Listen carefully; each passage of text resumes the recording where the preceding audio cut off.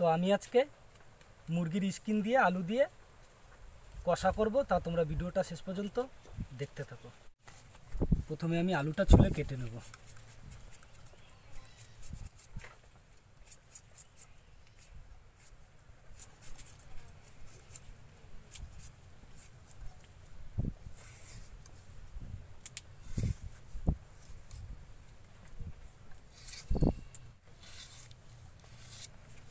এরকম ছোট ছোট করে পিস করে নেব।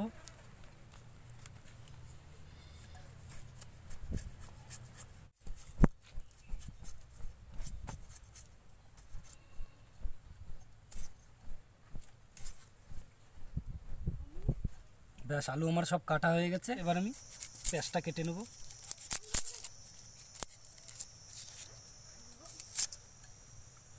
এবার আমি পেঁয়াজটা সব কুচিয়ে নেব।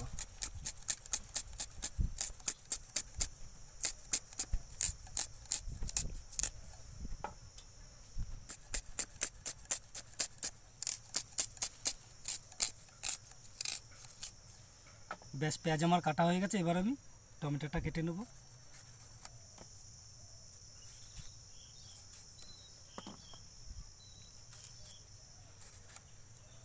সব কিছু কাটা হয়ে গেছে, এবার আমি মশলাটা বেটে নেব, তো আমি আদাটা আগে বেটে নেব।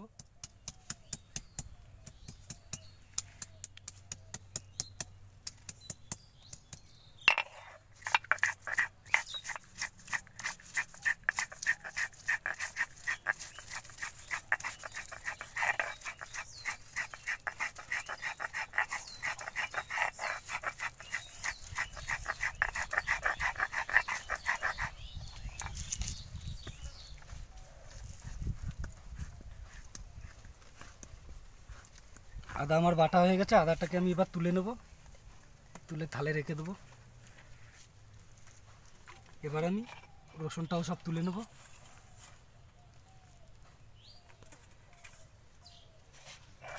তুলে আমি রসুনটাকেও বেটে নেব।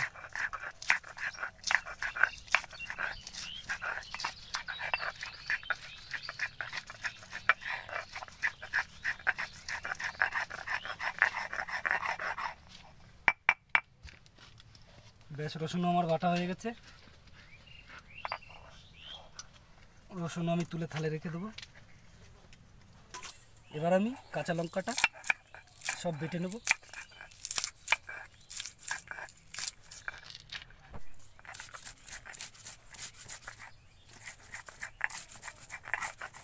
বেশ, কাঁচা লঙ্কাও আমি আদা আদি বেটে নিয়েছি।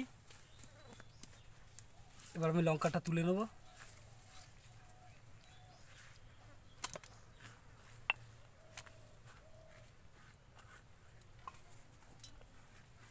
ব্যাস, আমার বাটা হয়ে গেছে। এবার আমি আলুটাকে ভালো করে ধুয়ে নেব।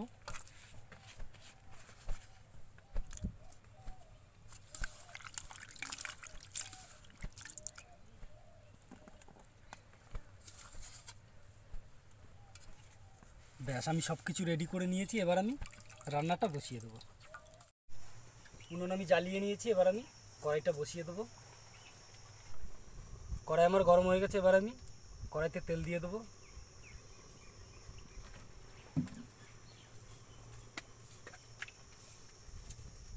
কটা গোটা জিরে দিয়ে দেবো। এবার আমি পেঁয়াজ দিয়ে দেবো।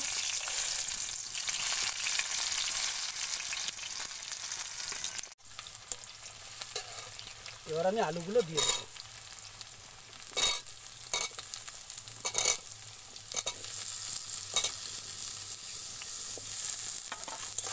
পাঁচ মিনিটের মতন আমি আলুর সাথে পেঁয়াজটা ভেজে নেব।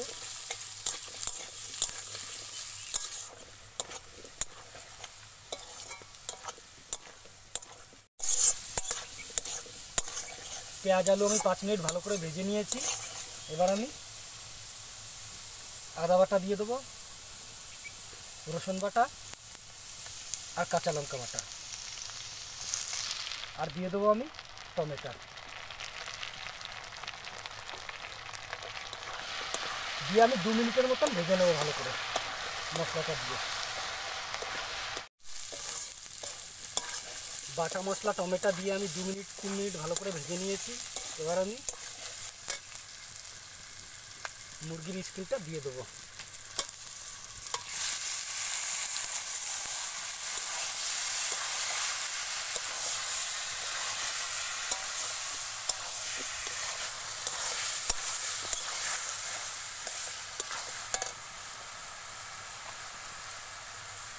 এবার আমি লবণ দিয়ে দেবো।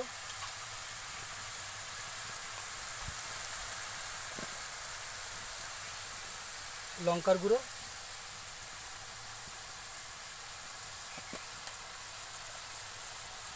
জিরার গুঁড়ো। আর দিয়ে দেবো আমি হলদি গুঁড়ো।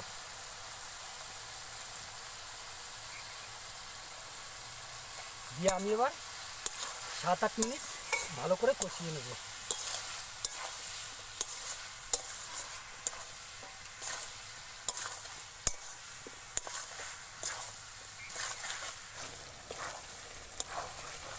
সাত আট মিনিট আমি ভালো করে কষিয়ে নিয়েছি। এবার আমি জল দিয়ে দেবো হালকা।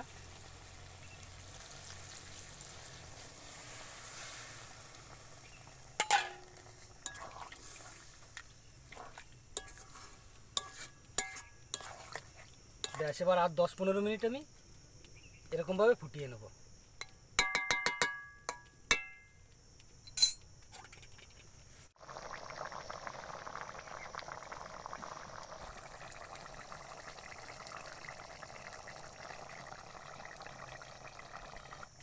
এবার আমি গরম মশলাটা বেটে নেব।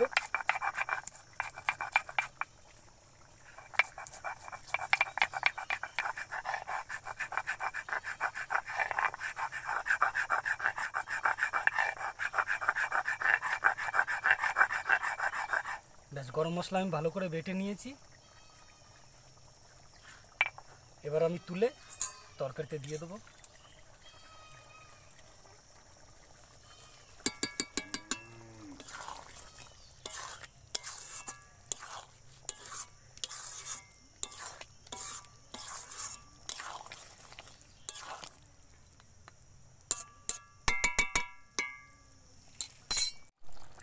এবার আমি তরকারিটা নামিয়ে নেব।